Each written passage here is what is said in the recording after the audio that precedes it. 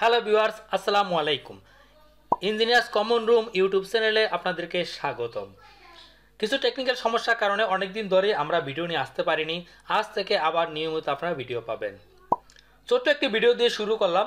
এই ছোট ছোট জ্ঞানগুলো যারা নতুন ইলেকট্রিশিয়ান কিংবা মেকানিক্স কিংবা ইঞ্জিনিয়ার রয়েছেন, তাদের জন্য এই ছোট ছোট ভিডিওগুলো অনেক গুরুত্ব বহন করে। কারণ এই ছোট ছোট নলেজ থেকেই আপনারা অনেক বড় কিছু করতে পারবেন, আশা করি।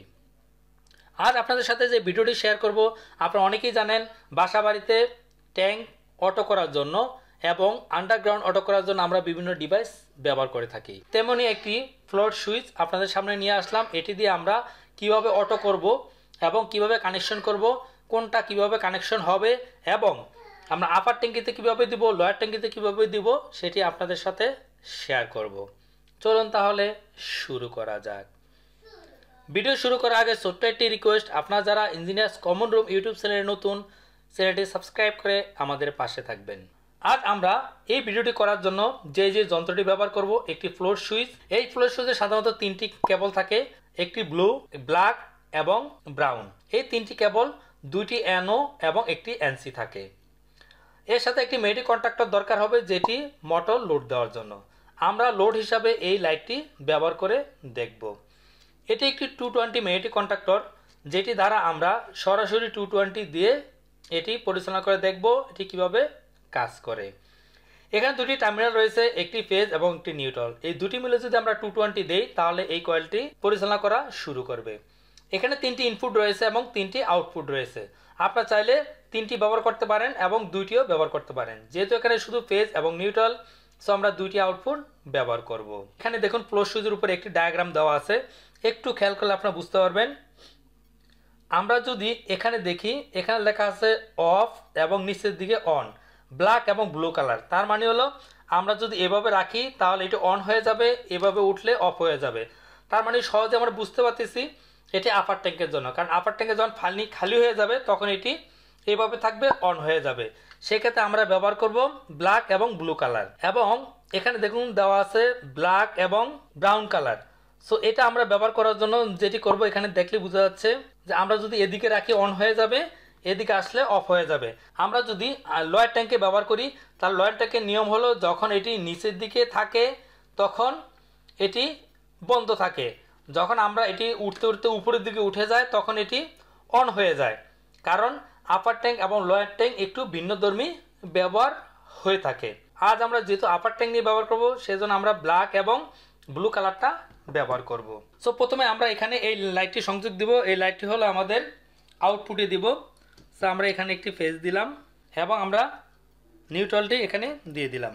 আপনারা এই দুটি ব্যবহার করবেন সরাসরি মোটরের জন্য। এবার আমাদের এখানে দুটি ইনপুট লাগবে এবং কয়েলের একটি কানেকশন লাগবে। দুটি ইনপুটের আমরা সরাসরি একটি নিউট্রাল দিয়ে দিলাম। এবার আমরা ফেজ লাইনটি কাজ করার জন্য একটি কেবল নিব। আমরা এখানে একটি ইনপুট এবং একটি আউটপুট দিলাম। নিউট্রাল আমরা এখান থেকে নিলাম ফেজটিও আমরা এখান থেকে নিব। আমরা এই ফেজ এবং এই নিউট্রালটি আউটপুট দিয়ে দিলাম। এবার আমাদের কাজ হলো এটি কীভাবে কানেকশন করব। এখানে যেহেতু দুটি টার্মিনাল একটি ফেজ এবং একটি নিউট্রাল দেব, আমরা নিউট্রালটি সরাসরি এখানে দিয়ে দিলাম। তাহলে আমরা এখানে যে দুটি টার্মিনাল আমরা একটি টার্মিনাল নিউট্রাল থেকে নিলাম, আরেকটি আমাদের ফেজ থেকে নিতে হবে। এখন আমরা চাইলে একটি কেবল এখানে দিয়ে সরাসরি আমরা ওখানে নিয়ে যেতে পারি, যেহেতু আমাদের কাছে এখানে দুইটি কেবলই আছে এবং কাছাকাছি আমরা সরাসরি এখানে দিয়ে দেবো। তার মানে এই ফেজ লাইনটি এদিক দিয়ে হয়ে এসে এখানে অ্যাড হবে। সো আমরা এখানে অ্যাড করে দিই। আমরা এটি রান করার আগে আরেকটু রিভিউ দিই। এটা আমাদের দুটি ইনপুট একটা হলো ফেজ এবং একটি নিউট্রাল এই দুটি সরাসরি আউটপুট চলে গেল আমাদের এই লাইটে এখান থেকে আমরা একটি নিউট্রাল লাইন কয়েলের এক প্রান্তে দিলাম, অপর প্রান্ত হলো আমাদের যে ফেজ লাইনটি আছে, এই ফেজ লাইন এই ফেজ লাইনতে সরাসরি এখান থেকে ঘুরে এসে আমাদের নিচে যে অন্য একটি কয়েল সেই কয়েলের প্রান্তে লেগে গেল। তার মানে হলো, আমাদের ফেজটি এখান থেকে ঘুরে আসলো নিউট্রালটি এখান থেকে সরাসরি কয়েলে চলে গেল। এবার আমরা পাওয়ার দিয়ে দেখব এটির বিহেভিয়ার কি হয়। আমরা এবার পাওয়ার দিলাম, এটি বন্ধ আছে, আমরা ম্যানুয়ালি রান এটি রান হচ্ছে।